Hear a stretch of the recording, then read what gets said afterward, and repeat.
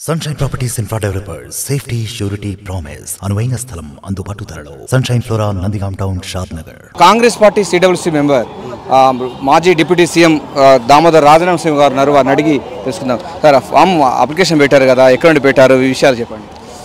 ఇప్పుడు కదా ఆందోళన కొత్త కాదు మాకు.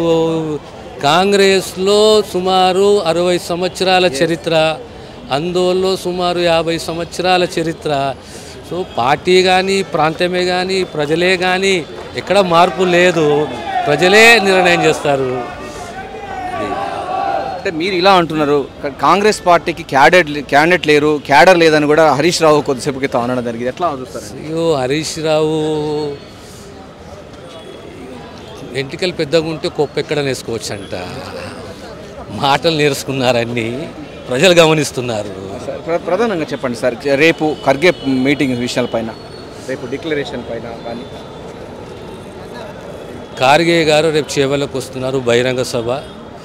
బహిరంగ సభలో ముఖ్యంగా తెలంగాణ సబండ వర్గాలు అణగారిన వర్గాలు ఏ వర్గాలను దృష్టిలో పెట్టుకొని తెలంగాణ కల సాకారం చేసిందో కాంగ్రెస్ పార్టీ ఆ సమాజం తీవ్ర అన్యాయానికి గురవుతున్నది.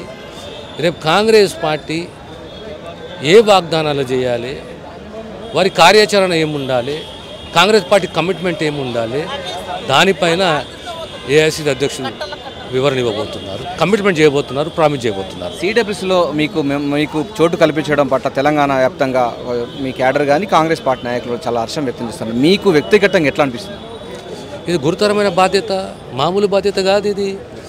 ఇది becoming CWC member is a dream and it's commitment so ఇది ఆషామాషి కాదు ఆ స్థాయిలో మళ్ళీ మేము పని కూడా చేయాలి డెలివరీ కూడా చేయాలి అది ఒక పెద్ద బాధ్యత అది. సార్ అంటే ఆందోళన మీతో పాటుగా మీ కుటుంబ సభ్యులు ఇంకొకరు కూడా అప్లికేషన్ చేశారు. ఎట్లా చూస్తారండి? ఆశ ఉంటుంది కదా అప్పుడు నిర్ణయం తీసుకుందాం. అప్పుడు నిర్ణయం తీసుకుందాం ఇప్పుడు తొందర ఎందుకు ఎన్ని సీట్లు వచ్చే అవకాశం ఉంది సార్ కాంగ్రెస్ పార్టీ కాంగ్రెస్కు మంచి అవకాశం ఉన్నది. మీరు రా రోజు కాంగ్రెస్ గ్రాఫ్ పెరుగుతున్నది. అంటే ఆ అభద్రత ఆ భయాందోళన నుంచి పబ్లిక్ ప్రజలు బయటకు వస్తున్నారు ఒకసారి ఈ ఎలక్షన్స్ డేట్స్ ప్రకటన తర్వాత ఇంకా మార్పు ఉంటుంది. ప్రజలు మీకు అప్పుడు కనిపిస్తుంది ఎలాంటి ప్రెషర్లో ఉండేనో ఎలా బయటకు వస్తున్నారు అంటే అధికారమే అధికార లక్ష్యంగా ఏ విధంగా ఎట్లా పనిచేయబోతున్నారు? ఐక్యంగా పనిచేస్తాము పదేళ్ళు అయిపోతున్నది. పదేళ్ళు too too long a time. అందరం కృషి చేయాలి. రేపు ప్రభుత్వం చే ఏర్పాటు కావాలి. ఏ కళ అయితే కాంగ్రెస్ పార్టీ కనిందో తెలంగాణ విషయంలో ఆ కళ సాకారమే దిశగా మేమందరం కృషి చేయాలి.